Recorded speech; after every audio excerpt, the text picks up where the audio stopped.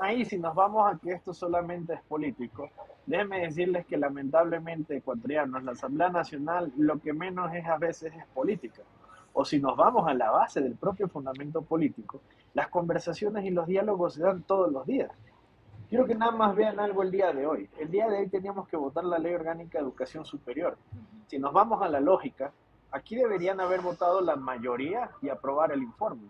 Pero tras revisar el contenido de la ley, decidimos que tenían que archivarse nosotros como gobierno nacional y que el correísmo mantenía esa misma posición.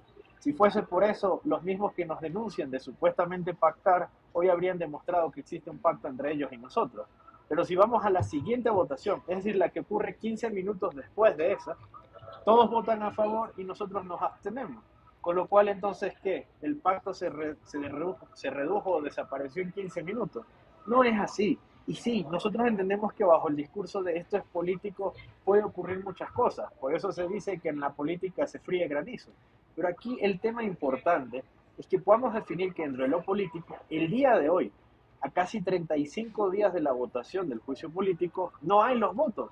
¿Por qué? Porque ni siquiera tienen garantizados a sus propias bancadas legislativas.